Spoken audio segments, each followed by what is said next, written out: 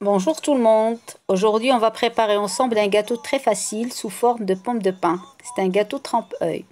Pour une seule pomme de pain, on aura besoin de deux cupcakes chocolat ou un morceau de gâteau au chocolat, deux cuillères à soupe de pâte à tartiner choco-noisette, quelques cacahuètes concassées grossièrement, deux ou trois morceaux de chocolat à croquer, de quelques petits beurres, de quelques biscuits petits beurres.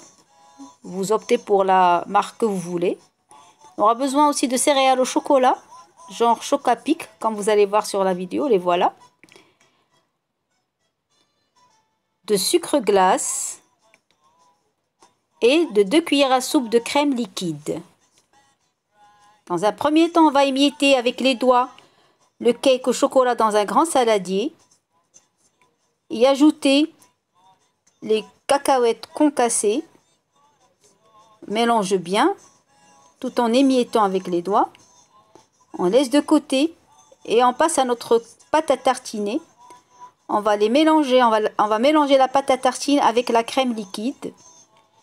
Donc vous mélangez bien à l'aide d'une fourchette ou d'une spatule jusqu'à obtenir une pâte très tendre, facile.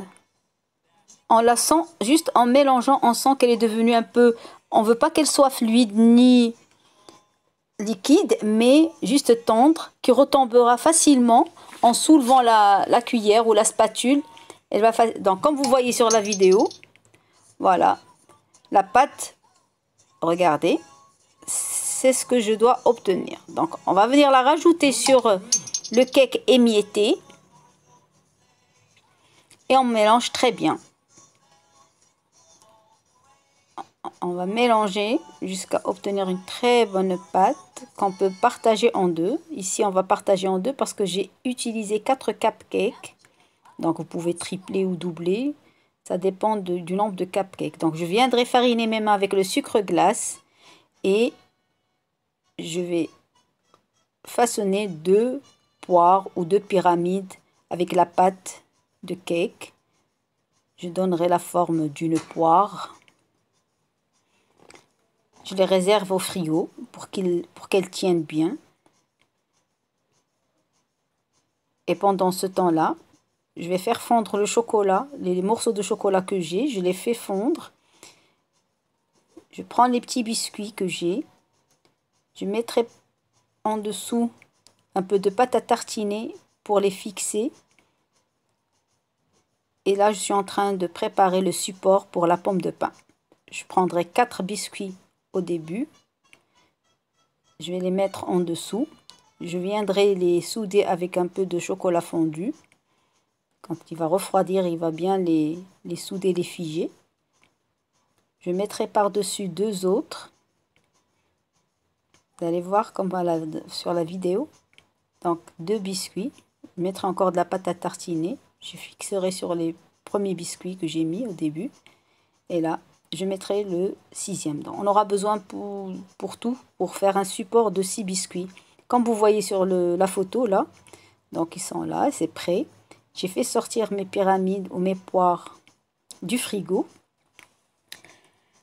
Là, je viendrai les prendre à la main. Je vais les fixer sur le support.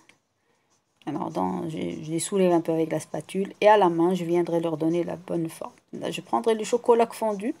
Je viendrai mettre les céréales un à un, tremper une céréale ou un céréale, on va dire chaque pétale de céréales, les tremper dans le chocolat.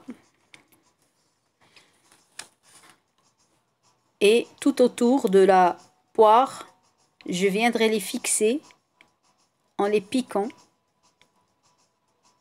du bas jusqu'en haut, jusqu'au sommet de la pyramide. Une fois en haut,